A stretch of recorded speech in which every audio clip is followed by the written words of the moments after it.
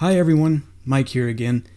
In this video, I'm going to show you how I turn this image into this stylized portrait, all in Photoshop and with no painting abilities. You ready? Then let's start the art. No, I still don't like it.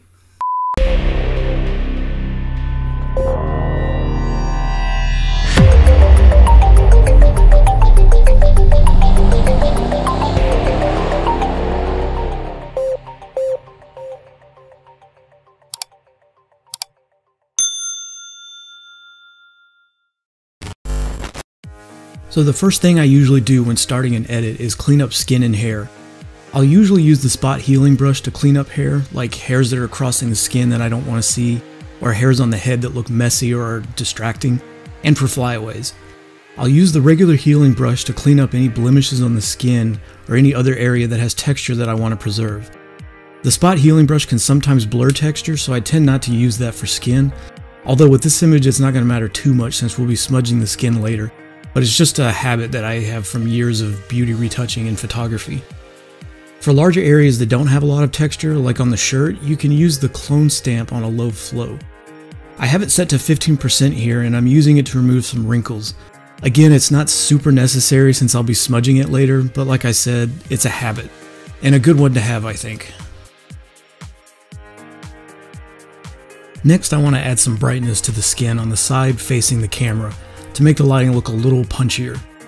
I shot this in a pretty small space just outside some elevators in a building in New York City, so there wasn't a lot of room to move the strobe back to get a harder light. But that's okay, I can fake it here in Photoshop. So I'm going to create a brightness contrast adjustment layer and turn the brightness all the way up and the contrast all the way down. Then use blend if to remove the effect from the shadows.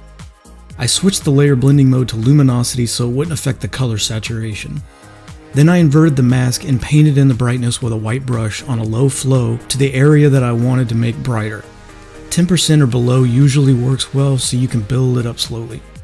There's no special reason I use brightness contrast, I could have used curves or levels and gotten the same look. Like so many things in Photoshop, there can be several paths to the same destination. Now I'm going to add some dimension by dodging and burning.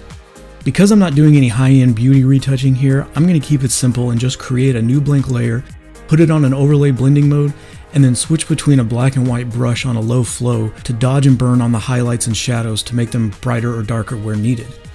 I find that a flow of around 2 to 5% usually works for me. Now I'm going to exaggerate the dimension even more by creating a light luminosity mask and applying it to a curves adjustment layer. I don't know the exact steps to creating luminosity masks because I've always used an action that creates them for me that I got from somewhere online. I don't remember exactly where. I'm sure if you Google luminosity mask action, you can find plenty to download for free. Now the action that I have creates several variants of luminosity selection, and I'm going to pick the one that shows just the brightest highlights selected on the face and load that as a selection. Now when I create a new curves adjustment layer, it will automatically apply that selection to a mask and therefore only affect those specific highlights. I'll play with the red, green, and blue channels of the curve until I like how the highlights look, and then lower the opacity of the curves layer to around 70%. Next I'm going to add an effect via an action I have called Ethereal. It's part of an action pack from photographer Laura Jade called Laura Jade Studio Editorial Collection. It creates a group of adjustments that add some cool blue and purple tones to the overall image and gives the shadows that faded vintagey look. I'll lower that effect's opacity to about 60%. Then I'm going to add a custom lookup table or LUT that I made a while ago that basically just warms up the highlights and adds some cooler tones to the shadows. I pretty much always use LUTs on the color blending mode, so that's what I'm going to do here, and I'll lower the LUT's opacity to 15%. I'm going to add another lookup table now. This one's called IWL TBAP9370. That's descriptive, isn't it? I'm sure those letters stand for something, like the name of the LUT pack or something like that. Whenever I download LUTs, I usually change the names of them to something else for the sake of organization because I have so many. Guess I didn't for these though. Anyway, I really like how this one affects the vibrancy of the colors, so I'll put it at about 90% opacity. Now, as you can see, that last LUT added a weird outline around the shadow on the wall. Not sure exactly why some color toning will do that. It'll also sometimes add some moire, which it did a little bit on this shadow. I'll take care of that the same way as the edge by making a new blank layer and using the clone stamp tool set to a flow of 15%. I'll just go around the edge and get rid of that bright line, then find some of the moire artifacts in the shadow, which show sporadically as a tonal transition with a hard line. I can just smooth that out with the clone stamp tool. Next I'll create a stamp visible layer by holding Shift Option Command E on a Mac or Shift Control Alt E on a PC. Then open up the camera raw filter and bring up the shadows, blacks, and clarity sliders a little bit. This will bring out some more detail in the shadows. I then opened up the layer styles box and used blend if to remove the camera raw effect from just the highlights. I did then go back into the camera raw filter because I felt that I needed to bring the shadow sliders up just a tiny bit more. And then I felt the effect was kind of too much in the hair, so I just added a mask and painted it out there. To make the circle, it was pretty easy. I just created a new blank layer, changed its blending mode to overlay, and used the circular marquee to draw out a circle, making sure to hold the shift key to keep it a perfect circle. Then I filled that selection with a red color and positioned the shape where I wanted it. Now I of course want the shape to be behind the subject, not on top of it.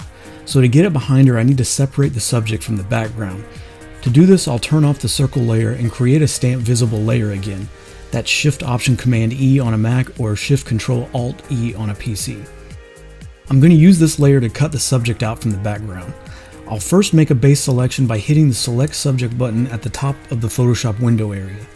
If you don't see the select subject button, it's because you have to have either the quick selection, magic wand, or object selection tool active for it to show up.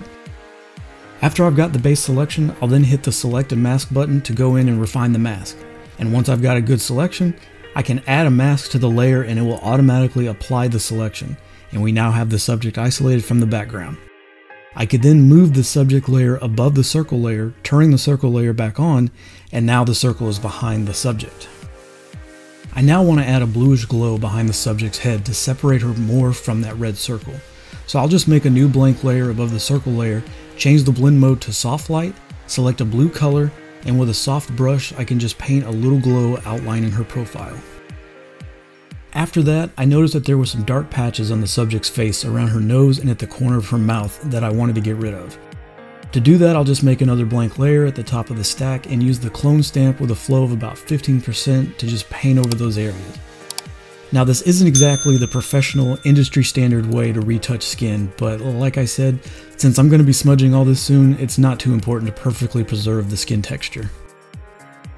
Now I'm going to make three curves adjustments to use for creating a rim light along the subject's face where I put that blue glow.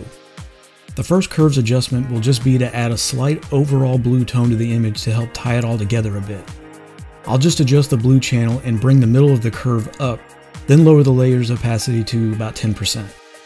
The next curves adjustment will be to add some brightness by just pulling the middle of the curve up a bit, then lowering the layer's opacity to 10% as well. The third curves adjustment will be for the blue tone. I'll adjust the red and blue channels until I get a blue color that I like, then lower the layer's opacity to about 78%. Now I'll invert the mask of the last two curves adjustments I made so I can paint those in separately along the edge of the face. I'll also paint them in along the edge of the nose, lips, and around the eye, basically wherever I can see that the light reflected off the wall behind the model and back onto her face, creating a faint natural rim light. I'll use that as a guide for painting in this blue light that I'm adding. Once I'm happy with how that looks, it's finally time to add the painted look by smudging the entire subject. I'll start by creating another stamp visible layer, that's Shift Option Command E on a Mac, Shift Control Alt E on a PC, selecting the smudge tool and making sure the strength is set to 30%, and just start smudging on the stamp visible layer. You want to just smudge enough to blur out the textures, but not so much that you start distorting the tones or the edges. Just follow the natural flow of the face, if that makes any sense. Make sure you cover all the skin, clothing, eyes, etc. Everything but the hair essentially. We'll be applying an effect to that separately in a minute. This next step won't add a whole lot to this image in particular since the original photo is of a model and they tend to have pretty good skin. But when you use the smudge tool on skin that's highly texturized, you'll notice that even though smudging the skin removed the skin texture, it created a whole different kind of texture. This can also happen if you apply a lot of sharpening to skin before smudging it. That's when I like to use the mixer brush, to try and blend that texture some more so it looks smoother and more painting-like. To add even more realism to the painting effect, I'll use a brush that's meant to mimic the bristles of a paintbrush so that you can see it in the strokes. Brushes meant to be used to paint hair are a good option as well. You can find all kinds of free brushes on sites like Brusheezy or DeviantArt, so check there if you need to download any brushes. Also, you may not notice any of those brush strokes right away when using the mixer brush with a custom brush, but you will once you add some sharpening to it, which is what I'm doing next. I'll create another stamp visible layer and go under the filter menu to Smart Sharpen. For this image, in the Smart Sharpen dialog box, I'm going to use Remove Lens Blur with an amount of 500% and a radius of 9 pixels. I'll add a black mask to this layer so I can paint in the sharpening just where I want it. I mainly want to apply it to the skin, clothes, and the eyes, being careful to not paint the sharpening too much on any edges where it creates a halo. Now to make the hair look painted. To do this, I'm going to apply the oil paint effect to a sharpened layer of the hair. The reason for sharpening it first is so that you get really defined hair when you use the oil paint filter. So the first thing I need to do is create a stamp visible layer of everything that's below the smudge layer.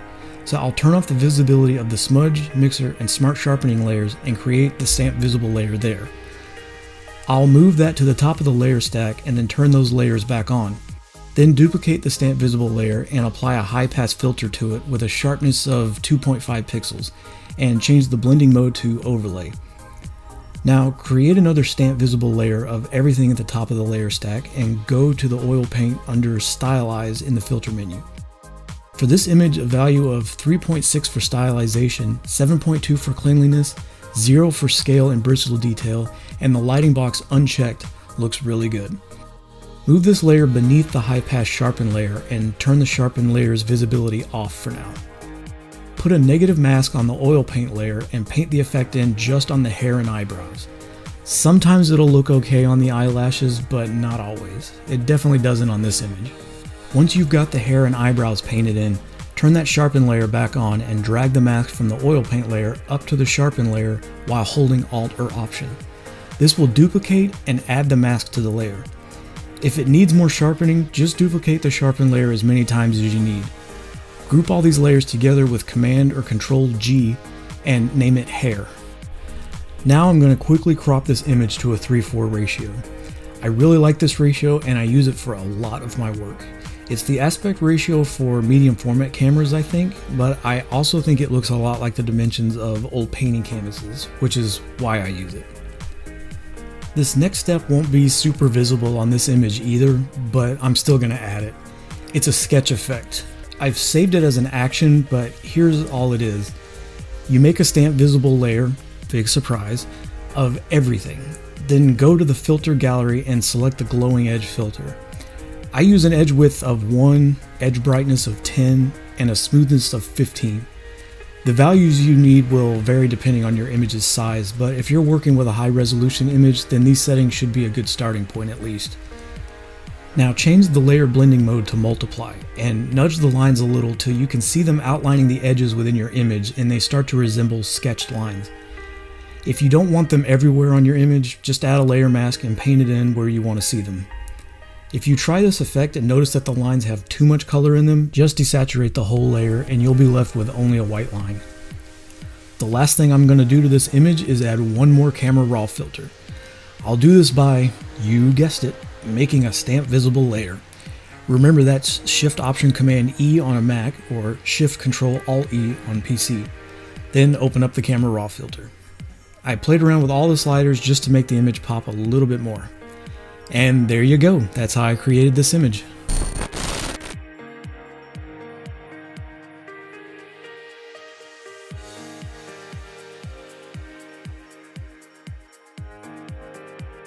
Thank you everyone. I hope you like the finished image as much as I do, and I hope you enjoyed this tutorial.